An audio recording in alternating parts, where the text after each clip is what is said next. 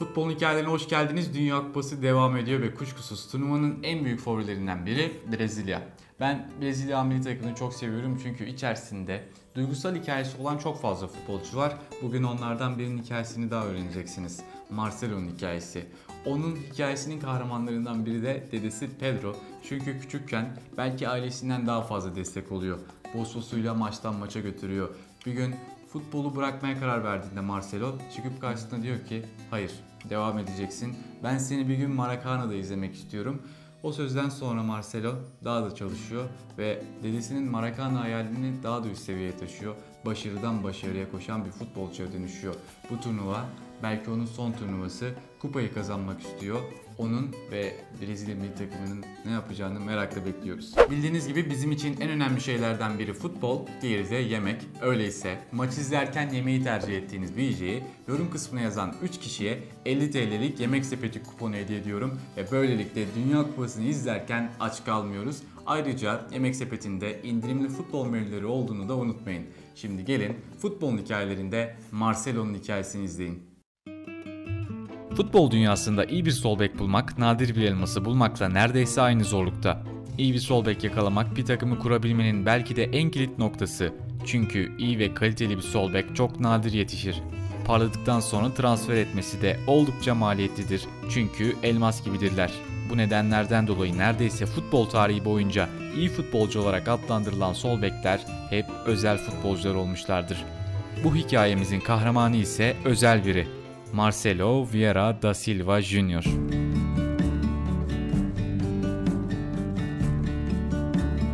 ...12 Mayıs 1988 yılında Rio de Janeiro'nun Botafogo bölgesinde itfaiyeci bir babanın ve ev hanımı bir annenin oğlu olarak dünyaya geldi. Futbol tutkusu ise çok küçük yaşta başladı. Marcelo'nun en başından beri yol göstereni ve destekleyeni dedesi Pedro oldu. 4 yaşındayken annesi onu Guanabara adında bir futsal kulübüne yazdırdı. Sokaklarda, boş arazide, sahilde, her bulduğu yerde futbol oynayan Marcelito'nun futbol tutkusu böyle başladı. O zamanlarda futbol oynamak için birine ihtiyacı olmadığını düşünür, çoğu zaman yalnız oynardı. 1994 Dünya Kupası Amerika'daydı. Brezilya'da Dünya Kupası başlamadan herkes dışarıya çıkıp kutlama yapardı. Sokaklar, çitler, duvarlar, insanların yüzleri her şey yeşil, mavi ve sarıya boyanırdı. Çocuklar için özel bir an olan Dünya Kupası zamanı Brezilyalı yıldızların resmiyle duvarlara çizilirdi. Marcelo da o Dünya Kupası'nda aklında kalan en güzel anıyı şöyle anlatıyor. Ronaldo'nun 82 Dünya Kupası'nda Zico'nun resmini çizdiğini okumuştum. Ronaldo, tahmin et bakalım. Eğer bunu dinliyorsan ben 6 yaşındayken arkadaşlarımla beraber sokağımıza senin yüzünü çizmiştik. Sen bizim kahramanımızdın. Bu her zaman kalbimde kalan bir anıdır. Hayatla ilgili neler hatırladığımız çok ilginç bir şey. Brezilya'yı final oynayıp kazanırken izlediğimi pek hatırlamıyorum. Tüm onlar biraz puslu. Ama yerel gazetelerin ilk sayfasında yer alan bir fotoğraf çok net bir şekilde aklımda. Milli takım eve gelmişti ve Romario uçağın kokpitinde kafasını camdan çıkarıp sanki tüm dünyayı fethetmişçesine büyük bir Brezilya bayrağı sallıyordu. O fotoğrafı gördüğümde kalbim gururdan patlayacaktı neredeyse. Kendi kendime Allah'ım bunu bir gün ben de yapmalıyım diye düşündüm. Daha o yaşlarda sadece bir futsal oyuncusuydu ve bu hayalini gerçekleştirmek için yeşil sahalara adım atmanın zamanı gelmişti. Bunun için en büyük desteği dedesinden gördü. O zamanlar dedesi Pedro 1969 model Volkswagen Variant arabasıyla onu futsal maçlarına götürüyordu. Şanslıyım ki büyük babam benim için her şeyini feda etmeye hazırdı. O benim hikayemdeki en önemli figür. Eğer onu kafanızda resmetmek isterseniz onun bir karakteri vardı. Her zaman havalı bir güneş gözlüğü ve kendine özel bir tabiri vardı. Bunu ne zaman arkadaşlarıyla birlikte olsa söylerdi. Şöyle derdi. Bana bakın, cebimde tek bir dolar yok ama çocuklar gibi mutluyum.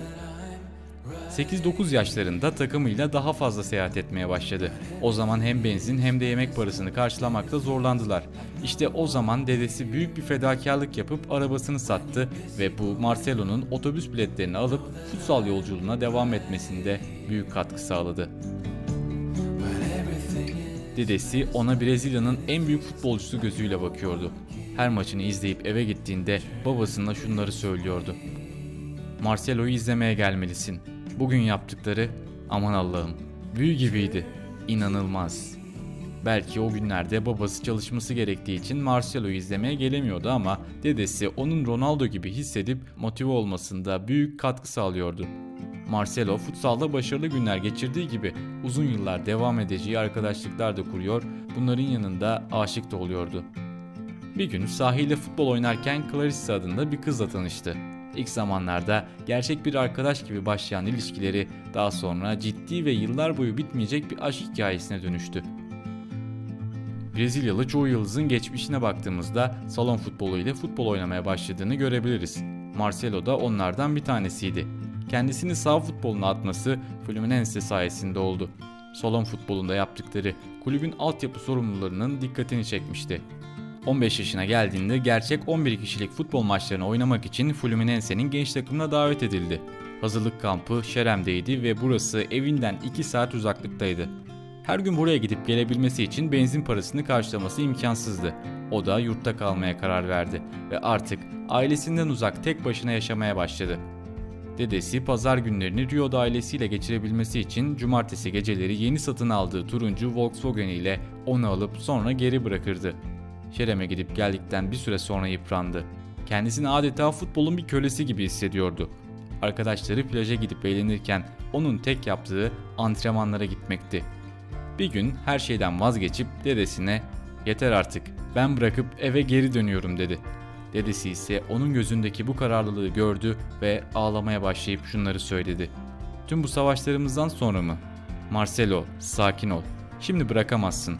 Bir gün seni Maracana'da oynarken görmem lazım. Dedesinin bu sözleri onu çok etkiledi ve daha fazla çalışmaya başladı. İki yıl sonra dedesi tribünlerdeyken Fluminense'nin A takımı ile Maracana'ya ayak bastı. İlk günden beri ona inanan dedesi torununun adeta hayatını değiştirmişti. 2005-2006 sezonu sona erdiğinde onu bekleyen büyük bir sürpriz vardı.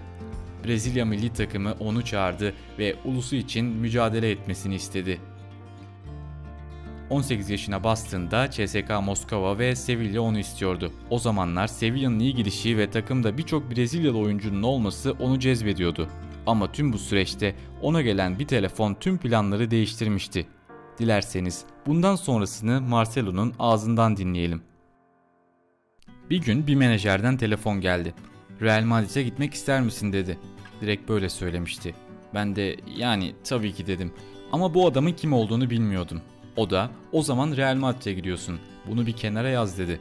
Birkaç hafta sonra evimizde Porto Alegre ile oynarken Real Madrid benimle buluşması için birini gönderdi. O adamla buluştum ama üzerinde ne Real Madrid logosu ne de kartı vardı. Sonra bana kız arkadaşın var mı, kiminle yaşıyorsun gibi sorular sormaya başladı. Halen daha ne bir kart ya da bir dosya yoktu. Ben de kendi kendime bu gerçek mi? Bir uçağa konulup Siberya'ya mı kaçırılacağım diye düşünüyordum. İki gün sonra sağlık testinden geçmek için Real'in beni Madrid'e çağırdığını söyleyen bir telefon aldım. Halen daha gerçek mi diye düşünüyordum. Beni iyi anlamalısınız. 16 yaşıma gelene kadar Şampiyonlar Ligi'nden bile haberim yoktu. O anı tam olarak hatırlıyorum. Kerem'de takım odasında oturuyordum ve çocuklardan bazıları televizyonda maç izliyordu. Porto Monaco maçıydı. Oyun bana çok farklı gelmişti. Gece oluşu, parlak ışıklar ve taraftarlar. Sağ inanılmazdı. Brezilya Ligi'nde en azından o dönemlerde ışıklar bu kadar parlak değil, çim bu kadar yeşil değildi. Bu maç bilmediğim bir gezegenden yayınlanıyor gibiydi. Bir ara bu hangi lig dedim. Arkadaşım Şampiyonlar Ligi dedi. Neyin şampiyonları dedim. O da oğlum Şampiyonlar Ligi finali işte dedi. Neyden bahsettiğine dair hiçbir fikrim yoktu. Brezilya'da Şampiyonlar Ligi'ni izlemek paralıydı ve herkes erişemiyordu. Madrid'e giden bir uçaktayken daha yeni 18 yaşına girmiştim.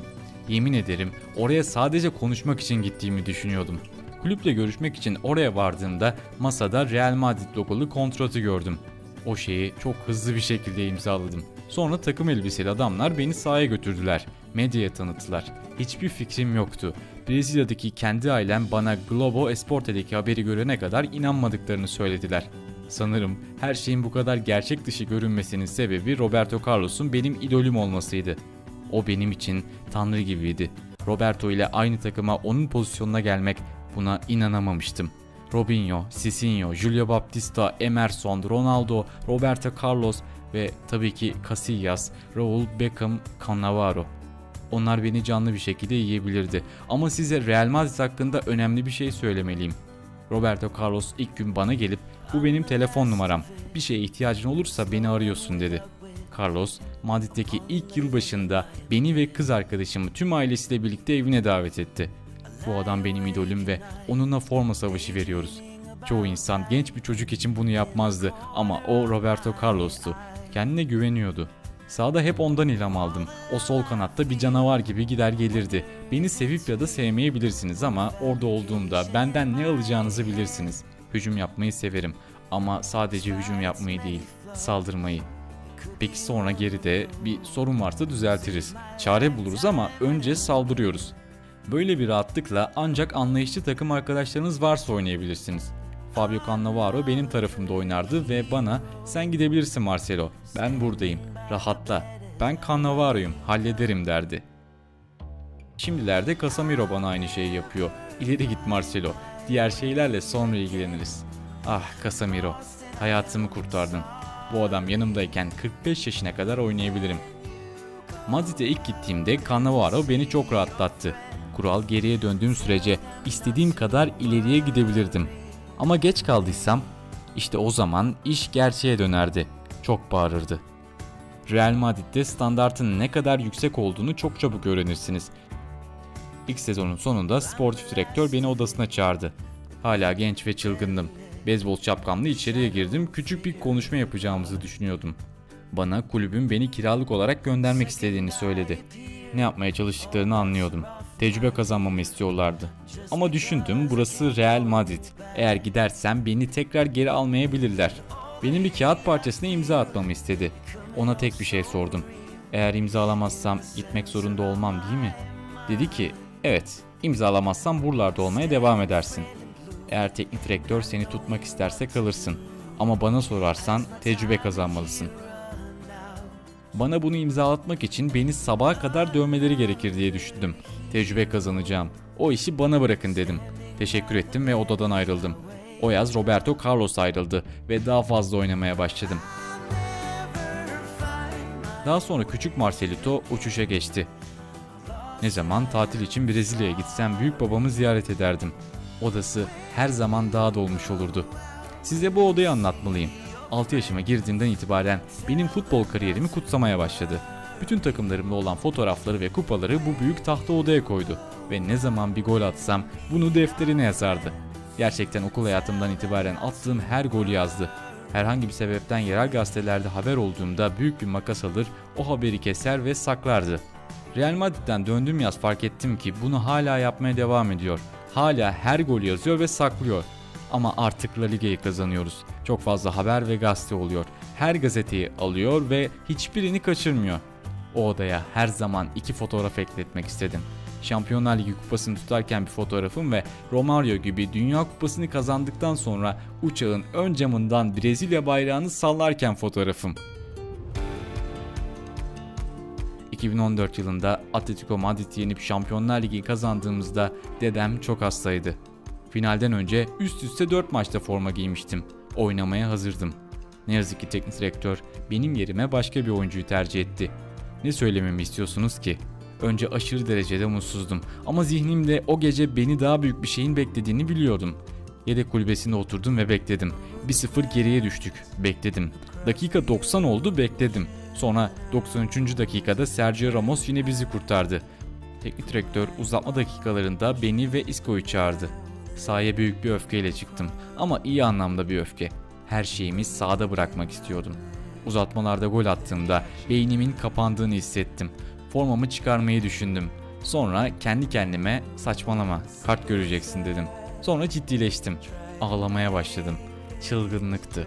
Çerem'de televizyonda ışıkları ve yeşil çimleri görmemin üzerinden 10 yıl geçmişti. 10 yıl sonra o kahrolası kupayı tutuyordum. La Decima, Real Madrid'in 10. Avrupa Kupası. Finalden birkaç ay sonra dedem vefat etti. Onun beni Şampiyonlar Ligi kupasını kaldırırken görmesini sağladığım için gururluyum. Bu sahneye onun sayesinde çıktım. Bazen sabahları kalkıp düşünüyorum. Real Madrid için 12 sezon, Brezilya milli takımı için 12 yıl. Benim gibi çılgın bir hücum beki için hala nasıl buradayım? Bunun normal olduğunu söylersem yalan söylemiş olurum. Her sabah antrenmana gitmek için arabamı park edip Real Madrid soyma odasına girdiğimde büyük bir duyguya kapılıyorum. Her zaman gösteremesem de bunu sürekli olarak içimde hissediyorum. Benim için bu kulübün bir parçası olmak paha biçilemez. Ama son bir görevim daha var. 2018 Dünya Kupası'nda Brezilya geri dönecek. Bunu yazın, pulunu yapıştırın ve kendinize postalayın. Teknik direktörümüz Tite ile inanıyorum ki adımızı tekrar dünyanın tepesine yazdırabiliriz. Size Tite'nin inanılmaz bir insan olduğunu söyleyebilirim. Brezilya teknik direktörü olduğunda beni aradı ve seni çağıracağıma söz veremem ama çağırırsam milli takımda hala oynamak istiyor musun diye sordu. Ona profesör beni aramış olman çok heyecan verici. 17 yaşlarından beri milli takımda oynuyorum. Uçaktaki ortadaki koltukta oturarak 20 saat yolculuk yaparak milli takıma geldiğim zamanlar vardı. Şimdi çok iyi koltukta oturup gelmeyeceğimi mi düşünüyorsun? Ne zaman ihtiyacın olursa milli takımda olacağım dedim. Benim için bu telefon konuşması her şeydi. 11 yıldır milli takımdayım ve ilk kez bir milli takım teknik direktöründen telefon aldım. Tite için cinayet işlerim ve dedemin odasına küçük altın kupayı koymak için yapabileceğim her şeyi yapacağım. Ama başaramazsam ne diyebilirim ki? Dedemin tabiriyle yine Marcelo'yum ve çocuklar gibi mutluyum.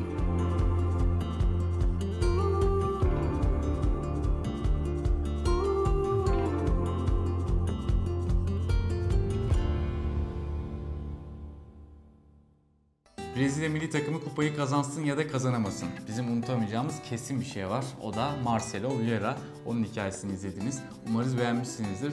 Çünkü diğer hikayelerimizden biraz farklı bir şey yaptık. Kendi ağzından anlatılanları sizlere aktardık. Umarız hoşunuza gitmiştir. Futbol hikayelerinde Dünya Kupası heyecan devam edecek. Bizi sosyal medya hesaplarımızdan takip etmeyi ve kanalımıza abone olmayı unutmayın. Şimdilik görüşmek üzere. Hoşçakalın.